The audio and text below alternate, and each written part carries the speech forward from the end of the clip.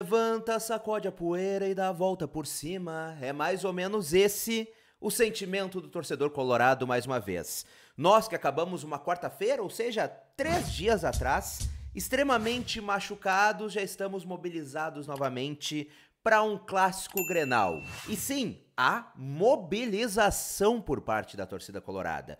Porque havia muito aquela dúvida: será que teremos um bom público num clássico Grenal? Pô, a torcida tá machucada, a torcida tá chateada, a torcida tá desconfiada, tá triste. Será que realmente vai comparecer no estádio Beira-Rio? Pois bem, senhoras e senhores. No momento da gravação desse vídeo, exatamente meio-dia e 33 desse sábado, o Inter já confirmou mais de 35 mil ingressos vendidos. 35 mil torcedores confirmados para o Clássico Grenal desse domingo. E a projeção do clube subiu. O clube espera mais de 40 mil colorados no estádio Beira-Rio. Isso é mobilização. Isso é uma remontada por parte da torcida do Internacional. Que sim, tá machucada, tá triste, tá incrédula ainda, chateada ainda, mas não abandona jamais o clube. Devemos ter mais de 40 mil colorados no estádio Beira-Rio no clássico Grenal desse domingo. Mas não adianta somente a torcida se mobilizar e o clube não, os jogadores não. Então o Inter aposta tem um trunfo para esta mobilização para o clássico Grenal, que é a experiência do elenco. Eu já falei aqui várias vezes sobre este elenco experiente do Internacional e a importância destes jogadores. E agora eles serão ainda mais importantes. O Inter tem este trunfo na experiência dos jogadores mais velhos, mais, como posso dizer, mais rodados do Internacional para já começar essa remontada no Brasileiro no Clássico Grenal. Vencer o Brasileiro e começar a respirar mais aliviado no campeonato e quem sabe pensar até numa vaga em uma pré-libertadores, talvez. Então o Inter confia neste momento em jogadores como Rocher, Arangues, Alan Patrick, Ener Valência, o próprio René, que jogou pelo Flamengo grandes competições, para essa remontada, para deixar rapidamente o sentimento de luto, de tristeza para trás, aquele sentimento de, pô, quase deu, chegamos tão perto uma Libertadores para mobilizar para um campeonato brasileiro. E eu acho extremamente importante.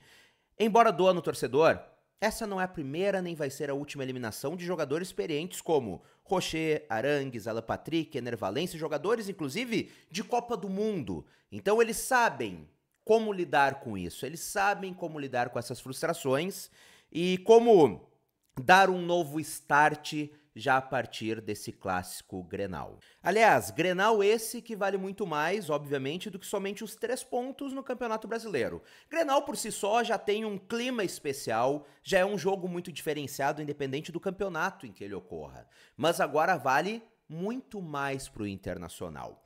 Porque se perde, eu vou bater na madeira aqui, ó. Mas se perde, pode acabar sendo afundado em uma zona de rebaixamento pelo seu principal rival. Isso numa semana em que foi eliminado em casa numa Copa Libertadores da América diante de mais de 50 mil torcedores. Mas se vence, dá novamente uma confiança para o elenco do Internacional, para os jogadores do Internacional e também para a torcida colorada, que mostra para a torcida que realmente o Inter pode, com seus titulares, praticar o bom futebol no Campeonato Brasileiro, que o levou até a semifinal da Copa Libertadores da América. Então este Grenal representa ou uma tragédia, uma crise em que o Inter realmente pode se enfiar em uma semana que deveria ser mágica para o torcedor colorado, ou uma remontada, uma retomada de confiança, tanto por parte dos jogadores quanto por parte da torcida do Inter. Eu arrisco dizer que, embora em termos de tabela, vale a três pontos, é um dos grenais mais importantes dos últimos anos, por todo o contexto envolvido, por toda a situação envolvida, infelizmente devido a essa eliminação na Copa Libertadores da América e a posição incômoda do Inter na tabela do Campeonato Brasileiro.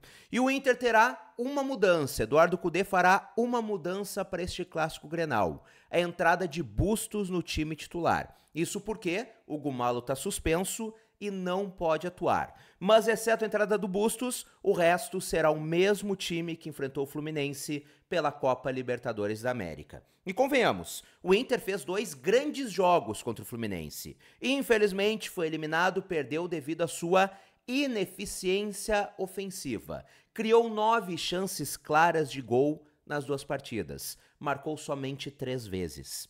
O Fluminense criou cinco chances claras de gols nas duas partidas, quase metade do Inter. Marcou quatro vezes e saiu classificado. O Inter mostrou que pode jogar bem, que pode pressionar seus adversários e que pode vencer, mas para isso precisa transformar as chances em gols. Eduardo Cudê tem convicção no seu time e mandará a campo o mesmo time então da partida contra o Fluminense, exceto com a mudança do Bustos, que ao meu ver deveria ter sido titular contra o Fluminense no Beira-Rio. E isso eu falei antes, não que o Gumalo tenha do mal na partida, não acho que foi, mas o Bustos é um jogador mais ofensivo. Poderia ter ajudado mais ofensivamente com o Inter jogando dentro de casa, precisando de uma vitória simples para passar de fase na Copa Libertadores da América. Mas enfim, águas passadas, passou, não tem mais o que mudar. Agora é remontada a partir desse clássico Grenal. E lembrando que depois do Grenal, o Inter pega diversos times da parte de baixo da tabela. O Inter pega Bahia,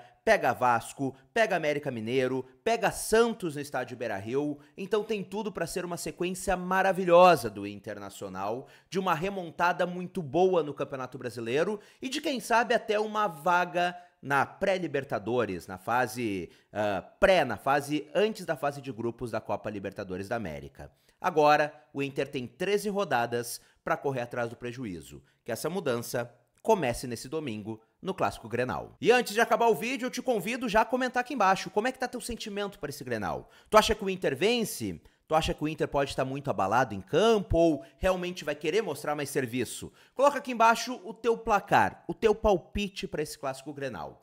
E se tu ainda não é inscrito no canal, clica aqui embaixo em inscrever-se e ativa as notificações no sininho. Um grande abraço, até a próxima e tchau, tchau.